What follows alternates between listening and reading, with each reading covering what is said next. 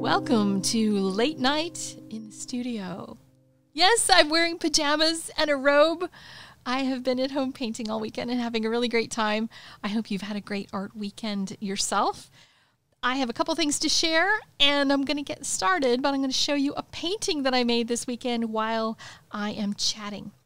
First announcement is that I have chosen the winners for the 24 Tags of Christmas.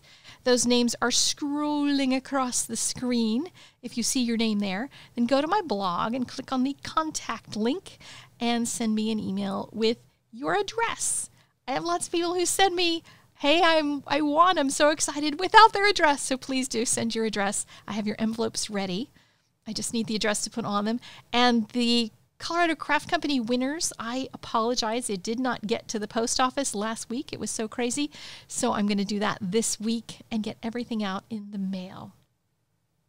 Second announcement is I have some new classes that I'm working on, and that is taking up tons of time and creativity and excitement.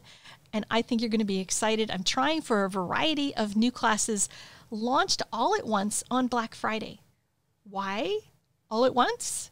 Because it's Black Friday and I'm having a sale. And I want you to take advantage of that if you can.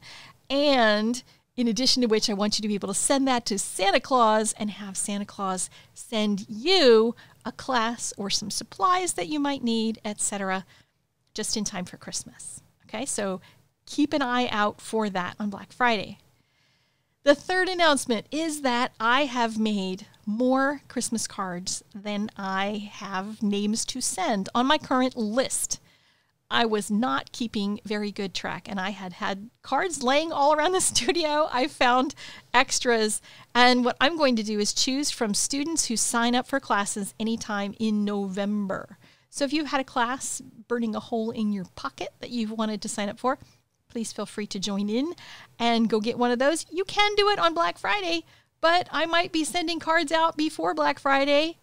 I don't know what will be left by then, but I'm going to try to keep sending cards out throughout the month. So there you go.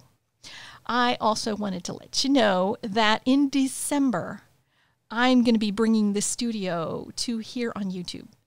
I'm, I always take a break from my regular YouTube schedule in December because the onslaught of all of the Christmas stuff is exhausting. And I give myself December to just play. In the past, I've done maybe one video a week or something. I'm not really sure exactly what the plan is, except it's fine art all month. I don't know how many videos that will be. Some of them might be live videos. And if you do like live videos, you can check out my crowdcast as well. You have to be a patron at even minor level, which is like a buck a month if you want to participate in the crowdcast. But I'm also going to maybe bring a few of the lives during the month of December here to YouTube.